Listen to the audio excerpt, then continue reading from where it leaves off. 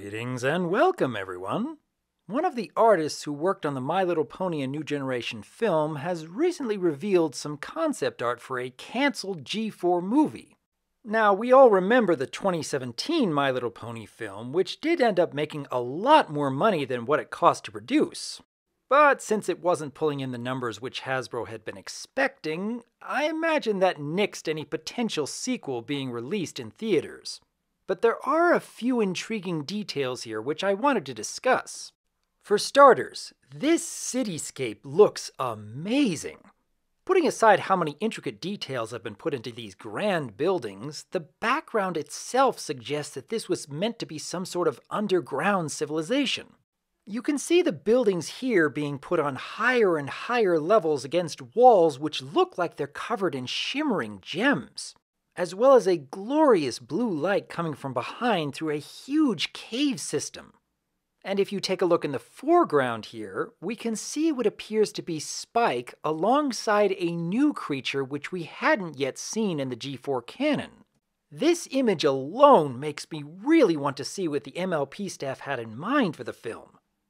And then we see what at first glance appears to be a more expansive design of Rainbow Falls, and perhaps even a different design for Canterlot?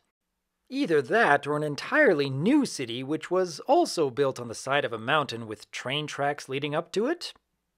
Here we have a campfire scene with the main six alongside some other pony playing the guitar, and a little purple dragon doing all the work putting up the tents. The more things change, the more they stay the same, I suppose. Although, speaking of dragons, this particular image shows the main six in quite the predicament. A ginormous dragon with a huge set of horns and teeth sporting an intimidating red glow in his eye. In the midst of a rainstorm and a single ray of light shining on the ponies. You have to wonder if this might have been the intended villain of the story? Imagine the possibilities. And then there's a massive forest landscape showing just how tiny our protagonists seem in comparison.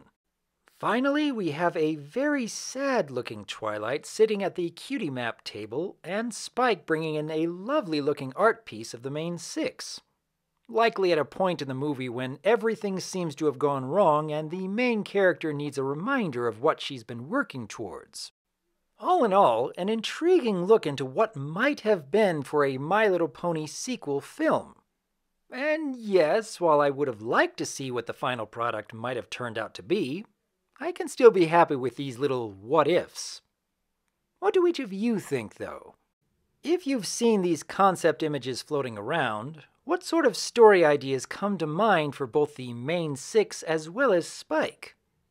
Leave your thoughts in the comments below because as always, I am Dr. Wolf, and I look forward to hearing from you.